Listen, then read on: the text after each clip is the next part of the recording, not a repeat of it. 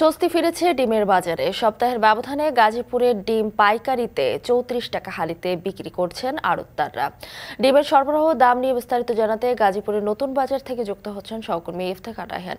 ইফতেখার, এ পর্যন্ত কি পরিমাণ ডিম আমদানি হয়েছে এবং দাম কি আরও কমতে পারে, কি বলছেন ব্যবসায়ীরা জানাবেন।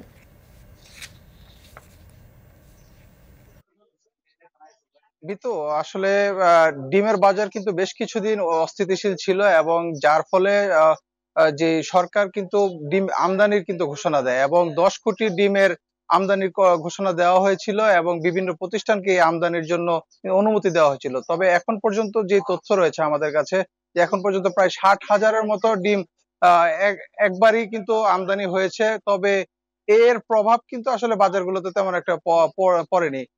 তবে বিক্রেতারা আমরা যে পাইকারি আড়তদার রয়েছে তাদের সঙ্গে কথা বলেছিলাম। তারা আমাদেরকে জানিয়েছেন, মূলত যে শীতকালীন যে সবজিগুলোর বাজারে আসছে, এর প্রভাবে কিন্তু ডিমের বাজার ডিমের দামের উপর পড়ছে। অর্থাৎ তারা বলছেন যে শীতের সবজি বাজারে যখন সরবরাহ বেড়ে যায়, তখন ক্রেতাদের কিন্তু সবজির প্রতি একটু চাহিদা থাকে, যার ফলে ডিমের চাহিদা কিছুটা কমে আসার কারণে ডিমের বাজারে কিন্তু এর প্রভাব পড়ে।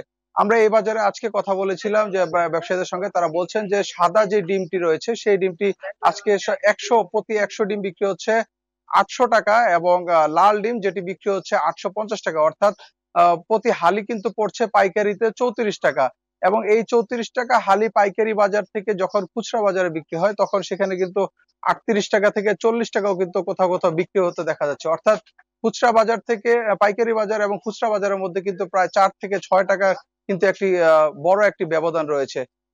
এবং আমরা আরতদারদের সঙ্গে কথা বলেছিলাম, তারা আমাদেরকে বলছেন যে শীতের যেহেতু সবজির যোগান বাড়ছে, যে কারণে এই ডিমের বাজারে আরও কিছু দাম আরও দাম কমে আসবে বলে তারা কিন্তু জানিয়েছেন। তো এই ছিল আমার কাছে গাজীপুর থেকে ডিমের দামের সবশেষ তথ্য। মিতু?